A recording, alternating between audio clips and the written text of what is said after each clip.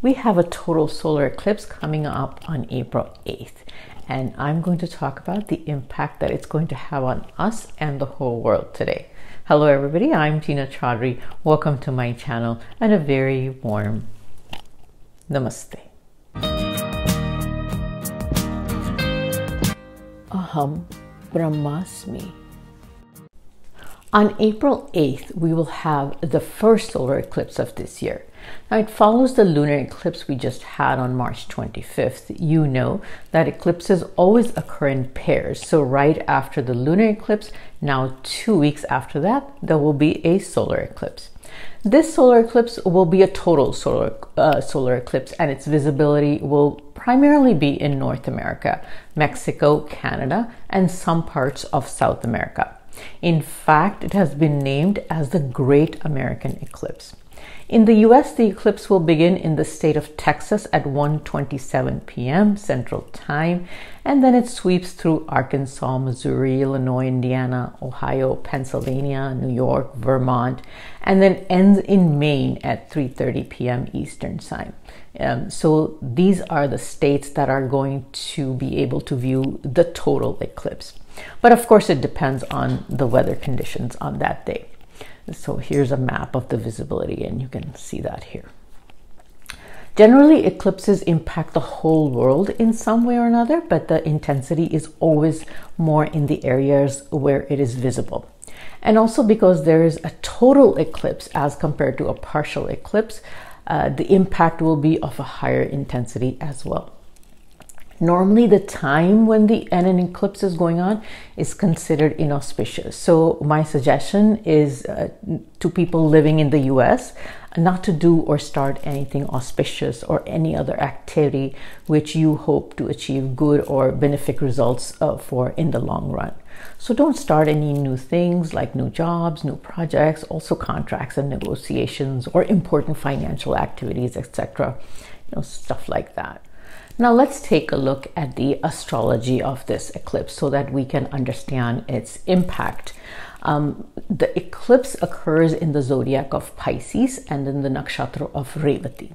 Now, um, during this eclipse, there will be four planets in Pisces obviously, the Sun and Rahu, and also Moon, but Venus will also be in Pisces at that time. Pisces is ruled by Jupiter and Revati is ruled by Mercury. And just keep in mind that Mercury is debilitated and retrograde during this time. And Jupiter is being aspected by Saturn. So both those planets are not in a happy situation.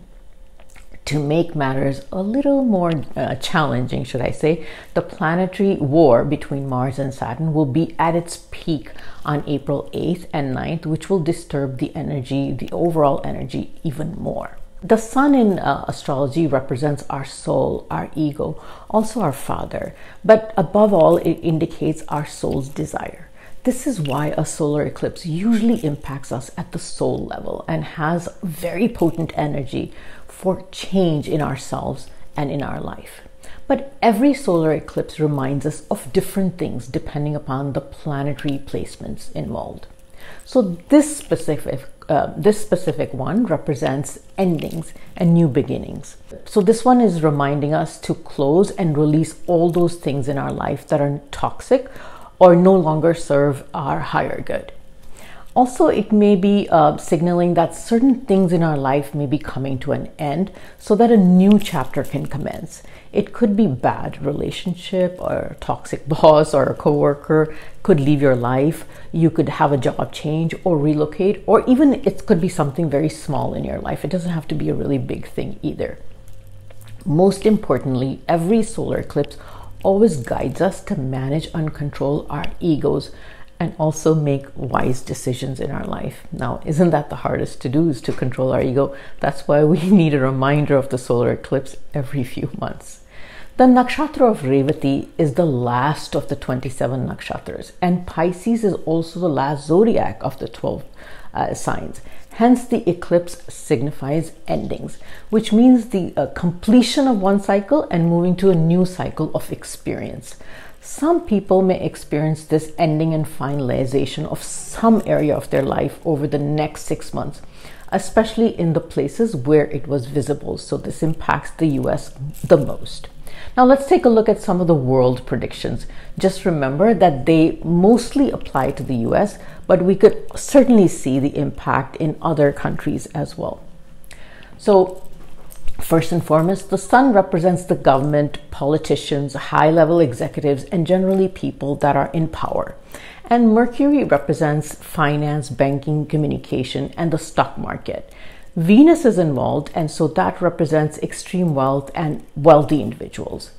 Rahu, on the other hand, represents IT, technology, AI, telecom, electronic devices, and the social media. This is an indication that there could be significant decrease in the wealth of the elite class. It also represents that the wealthiest organizations, and especially the tech and IT business organizations, could suffer financially. This applies more, like I said, to the US organizations. There can be lots of layoffs in these, specifically these industries, as well as there may be some leadership changes in these industries and overall changes in the tech sectors. Individuals associated with the entertainment industry could also uh, face some professional difficulties.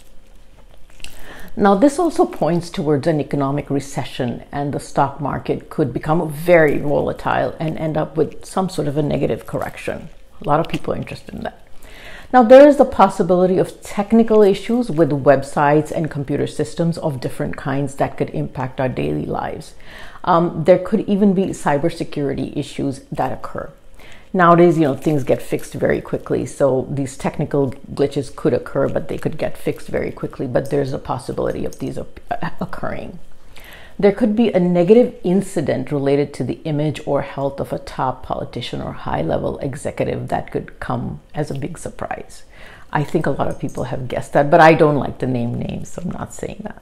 There may be a negative event in politics that results in public protests or violent situations within the US, and there could be a period of a lot of unrest between the public and the government in retaliation to laws or reforms. In fact, in some other countries, the government could even be overthrown uh, via violent means. So, this is definitely indicated by this uh, eclipse. Now, the ruling deity of the nakshatra Revati is Pusan Devata, which represents nourishment via providing an abundance of food. Also, technically, it represents milk and milk products. So, this eclipse may impact food production adversely and food prices may rise quite a bit. And this could also be the result of new wage laws that come into effect, as if the food price is not high already. Food crops could suffer as a result of weather conditions, and farmers may also face economic hardships due to this hardship. Now, aware, I'm aware that there's some sort of farmer agitation going on uh, in India currently, and so if the government does not handle it quickly and intelligently, that could end pretty badly. Now, there could even be problems in the supply chain or distribution of food products due to issues with sea cargo, and this could apply to mainly the US, but also several other countries. Since Pisces is a water sign, there can be weather related natural or man made accidents and disasters. The possibility of flooding, tornadoes, tornadoes, hurricanes is high in the next six months um, in, the, in the US. The chances of accidents, natural disasters in the northeast part of the USA uh, are high. In fact, the northeast part of any country could be especially sensitive to calamities and disasters because Revati rules the northeast direction. Now, the sun represents our health, specifically immunity, bone strength, and our vision.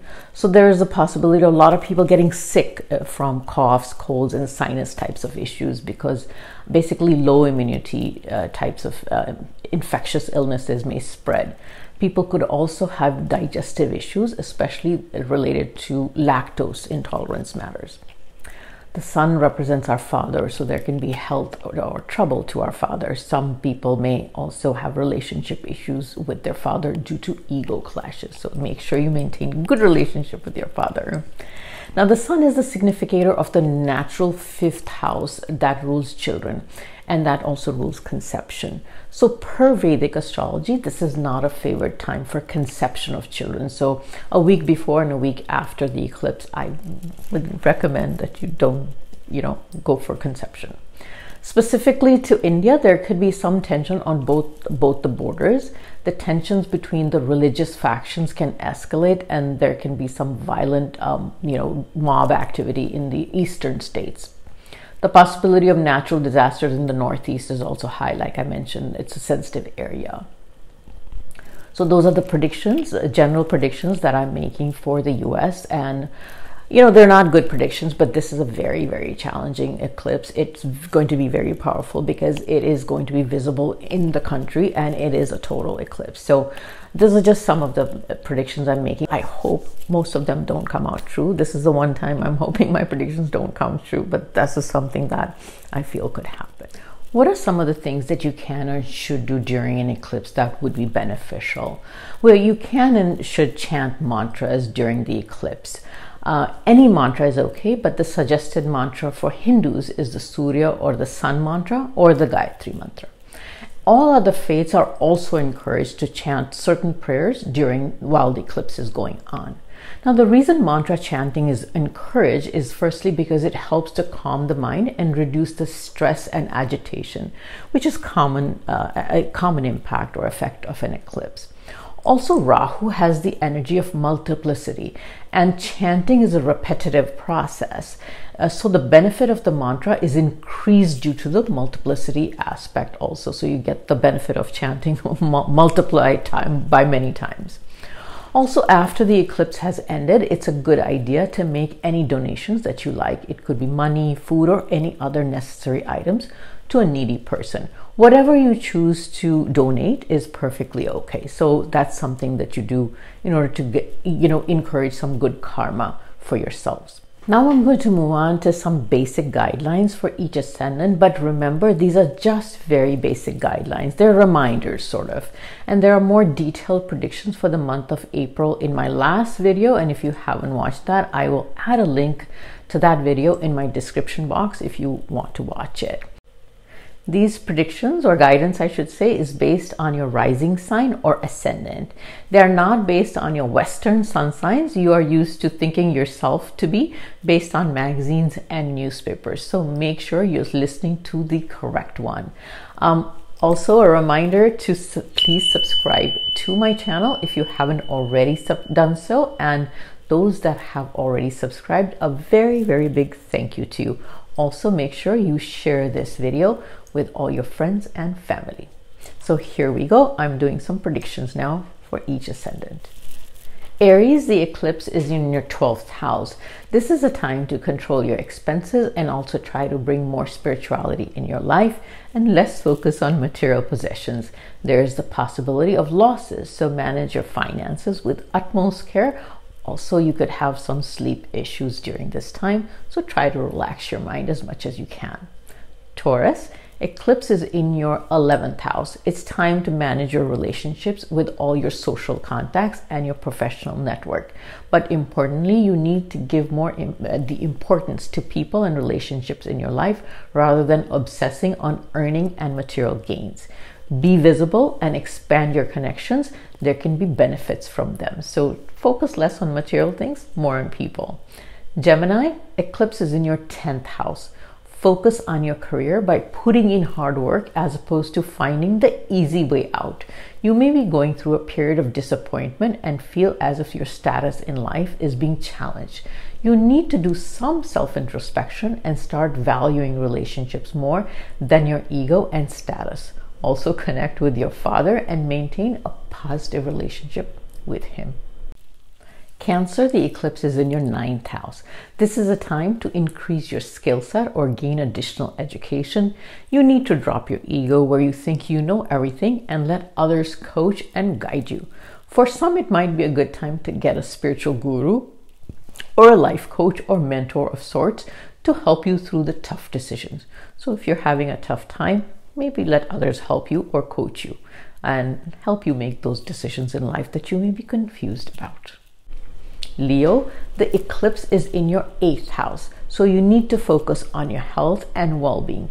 Drop your bad health habits. Don't overwork or overdo physically for others and overlook your own health in this whole process. You also need to drop your ego in terms of relationship with your in-laws and treat them fairly. So take care of your health. Don't overwork physically. Virgo eclipse is in your seventh house.